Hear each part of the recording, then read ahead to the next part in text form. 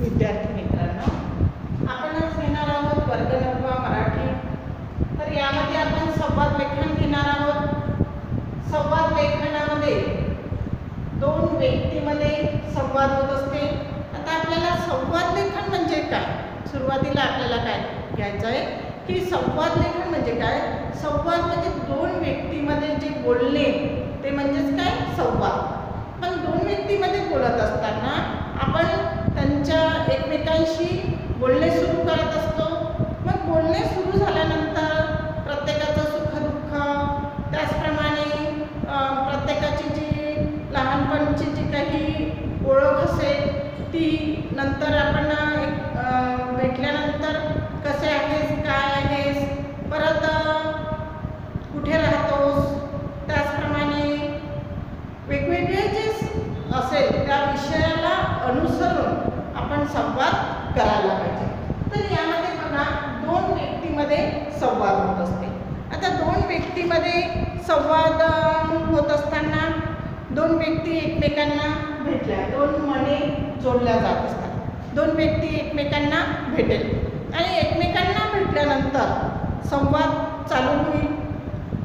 तर एकमेकांचं कुशल विचारत असते कसे आहेस असं विचारत असते त्याचप्रमाणे माहिती देत असते. विषय आशयाचे वेळेचे कोणतेही बंधन नसते. विषय किंवा आशय याचं बंधन नसते. तर वेळेचं सुद्धा बंधन नसते. यामध्ये वेळेचं सुद्धा बंधन नसते.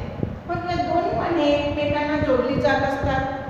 पहिलं म्हणजे दोन व्यक्तीमध्ये सुरुवातीला संवाद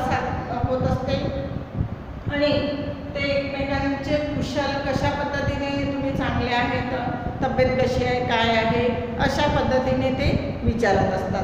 तर आपल्या मनातील भावभावना दुसऱ्यांपर्यंत पोचत असते. आपल्या मनामध्ये काय आहे?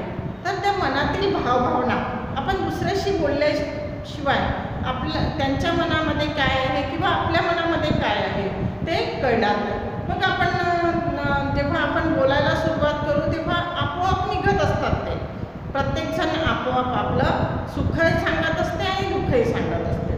तर आपल्या मनातील भावभावना या दुसऱ्यांपर्यंत पोचवल्या जातात. मग नंतर जे आहे ती दोन मने जोडली जात असतात. विशिष्ट निर्णय घेण्यासाठी. तर एक विशिष्ट निर्णय त्यातून आपल्याला एक निर्णय घ्यायचा असतो. तर त्यामध्ये निश्चित दिशेने निश्चित सूत्रानुसारही वि बोलणे होते. आणि यालाच संवाद म्हटला जातो.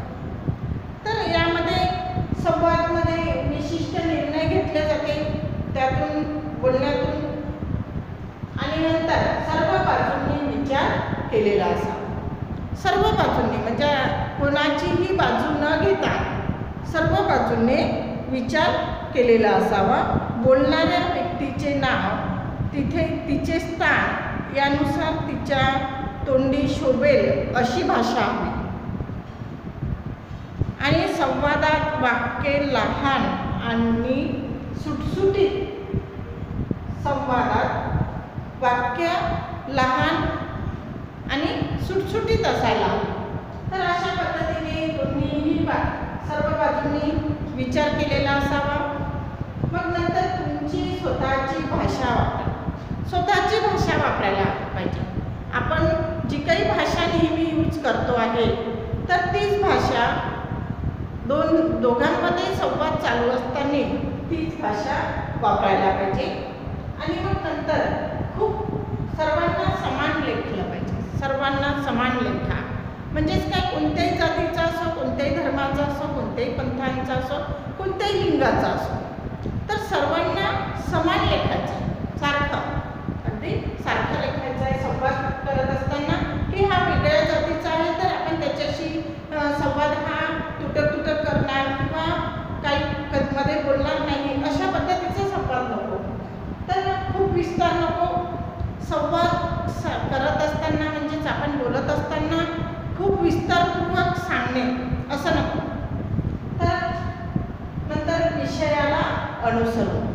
आपला जो विषय आहे सुरुवातीला आपण जो विषय ठेवलेला आहे त्याच विषयाला अनुसरून आपण संवाद करायला पाहिजे. त्याचप्रमाणे हो किंवा नाही अशी उत्तरे संवादात नको. म्हणजेच हो किंवा नाही जर आपण अशी उत्तरे दिली तर काय होईल? संवाद आपला रंगणार नाही. आणि त्याचा थोडाफार विलंब होणार नाही. आणि एकमेकांच्या भावभावना सुप्त भावना काय आहे त्या कळणार नाही.